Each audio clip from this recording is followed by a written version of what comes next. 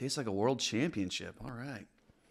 It is a well known fact that the only two organisms that can survive a nuclear fallout are cockroaches and Fernando Alonso. It's science. Aston Martin recently announced Alonso will take Vettel's seat on a multi year deal starting with the 2023 season. I expect more details about the contract to be coming out soon. Alonso, who's 41 years old and first started in F1 in 2001, was expected to retire sometime. Anytime, any day now would be nice, but his skills and experience, a lot of experience, are greatly needed at the struggling Aston Martin team that all too often find themselves at the bottom of the grid.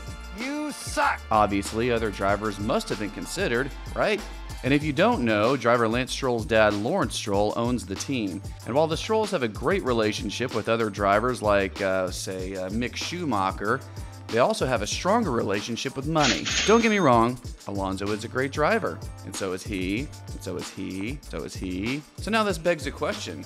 Could Alpine reserve driver and F2 champion Oscar Piastri fill Alonso's seat? Signs point to yes, but that remains to be seen. But that's the musical chairs of F1, and the more money you bring, the more likely you are to find a chair when the music stops. That's all I got for today, guys. Like, subscribe, and I'll see you in the next one.